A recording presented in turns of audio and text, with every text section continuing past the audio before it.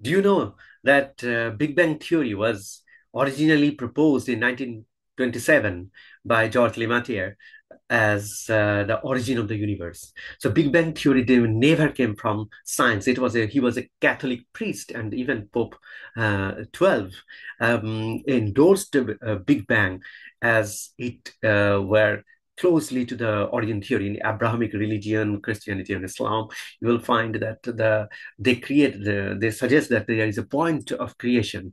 So uh, so it was endorsed. Big Bang theory was endorsed much before the scientists came in to propose that uh, the universe started with Big Bang. And today I will show you that how religiously dogmatic view, mm, which was endorsed by church and others, um, uh, the supporters went on promoting it. And later it became a scientific theory and a mainstream. And kids all over the world are now brainwashed with this absolutely non scientific, religiously dogmatic proposal, which has no scientific basis at all. So, 10 arguments I will give you to prove that the science, the assumptions that are there in the Big Bang theory, none of them is, has related to any scientific condition that can lead to Big Bang and it is just ad hoc, ad hoc, ad hoc, ad hoc, 10 situations, absolutely non physical conditions which are necessary for the Big Bang Theory to be a, uh, to be possible. So that's why mm, uh, that's why I will make you take you a journey to this 10 absolute nonsenses which are very foundation of the Big Bang Theory. Any scientific theory you make, people will say, what is the falsifiability? What are the things that I can prove? If I saw that, then your theory would be wrong. You can't do this with Big Bang because to prove the divine origin, they took Einstein's equation and Einstein's Hilbert's equation and then modified it into FLRW. It's a Hamiltonian, and then um, then in that Hamiltonian, if uh, scale factor goes to zero uh, at a time equal to zero, you will find infinite energy density. And the condition for singularity with with all infinity infinity infinity conditions um, comes from nowhere. Nowhere. You just take an equation and from future you go to the past, creating a condition that uh, I need this amount of energy. So let's make it infinite. And then you start. It is not something before the condition that is leading over there. And not a single falsifiability you could induce because FLRW is totally ad hoc and the Catholic priest put uh, some features into it in, in that equation, in Einstein's Hilbert equation, because it is always necessary that you start from Einstein uh, to make it credible. So that's what happens in happened in the 1927 or 1930s when Charles wanted to show it uh, uh, scientific. And uh, that's why Pope endorsed, uh, endorsed the Big Bang Theory much before science came in. So number two, to prove that God created it, you will need to show some design. To do that, they took Klein-Gordon equation and put a Hubble parameter into it. And to solve the problem of flatness uh, and horizon problem of the universe, because you already have already taken infinite density and infinite other things. So what you do is take the Klein-Gordon equation and create an expanding in, uh, universe and in inflation parameters.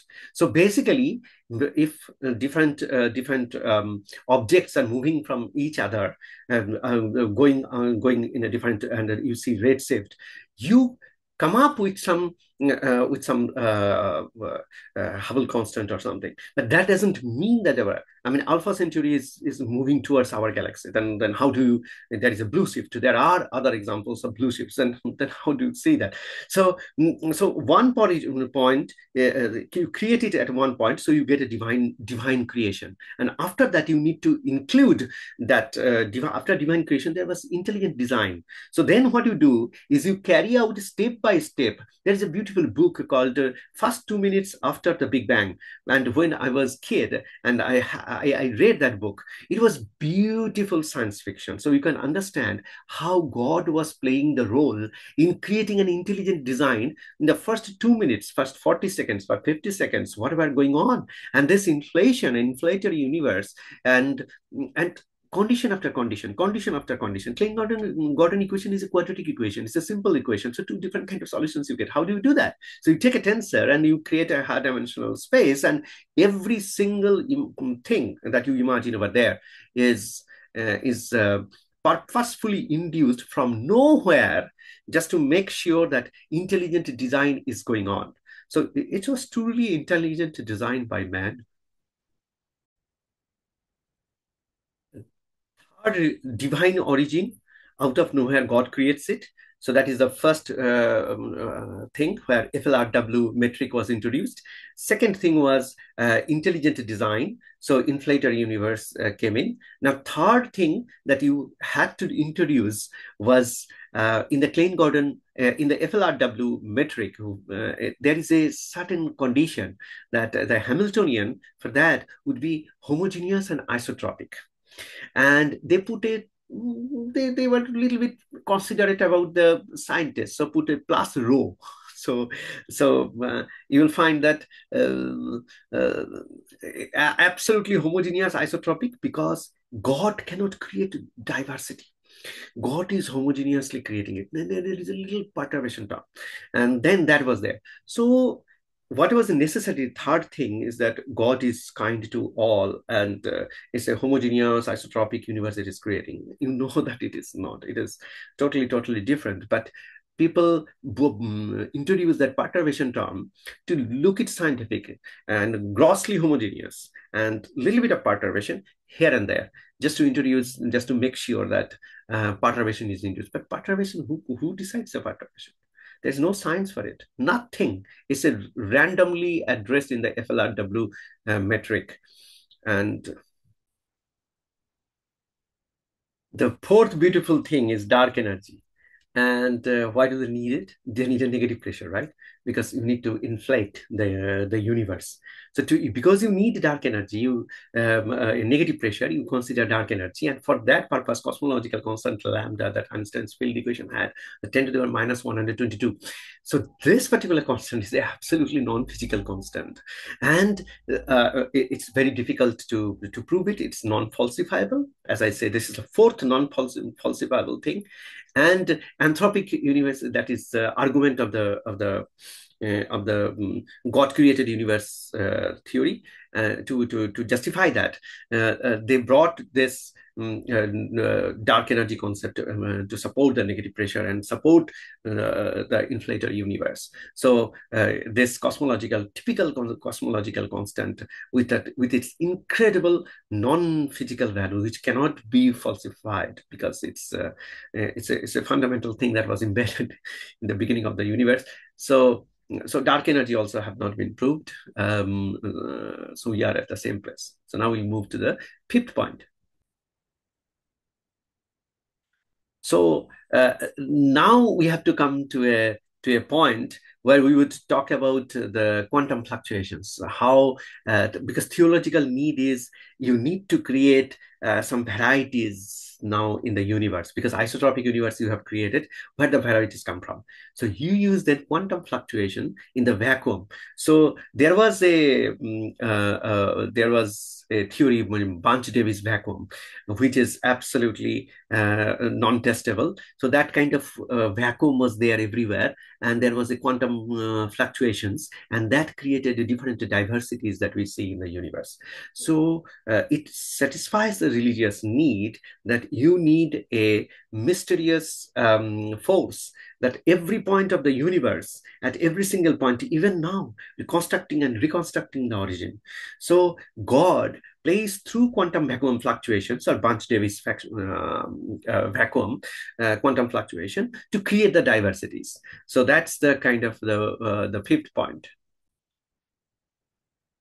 Number six is you have to prove that when God creates the universe, you have to have purposeful design. For, for purposeful design, there, there should be matter antimatter uh, um, uh, fluctuation of the 10 to the minus 10 order. And that uh, that's why Big Bang considered baryogenesis. And what it helps is that um, in the standard model, you have charge parity violation. But for this baryogenesis, you need charge charge parity violation and thermal equilibrium variations. So these three variations when it will come then baryogenesis will occur and then you will find the matter over antimatter and then the kind of duality in creation. So you need to have a very particular feature or phenomenon from a very mystical origin that can carry out matter's uh, purposeful design. So everywhere some kind of mysticism. And this is the sixth mysticism in a row mm, uh, that you that you that you need to uh, introduce in the model. And again non-testable uh, to to make sure that that god is creating. And uh, now we'll move to seventh point uh, how uh, how god god's theory of creativity were, were induced in the big bang theory and is still in there and we are using it to brainwash our kids. But to create the universe, number seven point is uh, that you have to show that God wanted it. That's why he created it. So to prove that, you need universal flatness. So if you take Friedmann's equation and put, uh, if you put uh, k is equal to zero, you get absolutely flatness. And the, for inflation, there will be a fluctuation, but just before that, there was absolutely flat.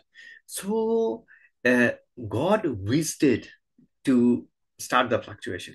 So that's why uh, the though Friedmann's equation allows uh, this to this to happen, initial condition was totally arbitrary. So this arbitrariness is kind of a necessity in a very isotropic, non-physical condition. So that is kind of a wish of the god from entire flatness. Suddenly there was a little fluctuation. And then they put uh, Friedmann's equation. So as you can see that every single assumption is backed by some completely different uh, set of scientists who are coming together and introducing another set of non-physical reality, non-physical condition, arbitrary condition to, to support and survive. So it was a century-old process, I would say, where um, where scientists were uh, were um, putting junk and junk and junk assumptions one after another to to make the theory look like scientific.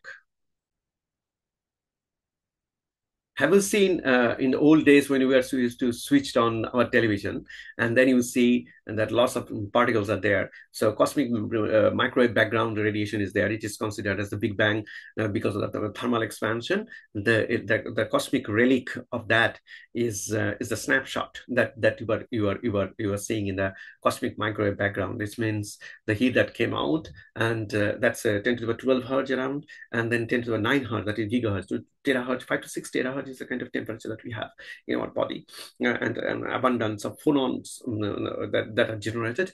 And when you you come to uh, come to gigahertz or around this kind of frequencies, uh, that's called cosmic microwave background. And when you when you come to that, basically that's a that's a that's a relic of, of cosmic design where you are seeing that the creator is kind of uh, sending the signal and then giving uh, information to all around. So the um, the CMB temperature fluctuation that is around 10 to the minus um, 5 uh, um, are explained by Boltzmann's uh, distribution, not a quantum statistics. So whenever we need classical uh, Boltzmann kind of statistics, we apply there. Uh, wherever we need um, this statistics, that statistics, we do not remain uh, uh, fixed to a very particular kind of statistics and particular kind of value. And wherever necessary, uh, the relative value, relative temperature fluctuation and thermal gradient, we assume ad hoc manner, which cannot be testable. So in this case, um, Boltzmann statistics was used to um, to justify the uh, justify to create uh, the CMB continuous microwave background radiations um, as a relic of uh, thermal uh, fluctuations, thermal uh, radiation that came out during the time of bang, Big Bang.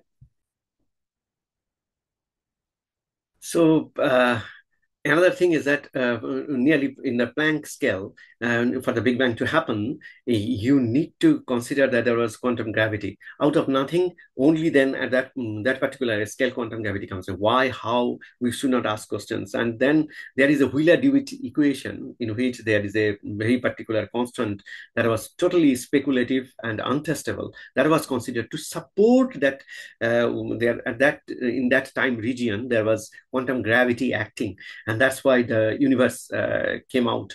And uh, you know that string theory has now been shown and argued that it has lots of imaginary thing. Too many imagination have flooded in. And that's why um, string theory even though it was a beautiful theory it um, it went into untimely death.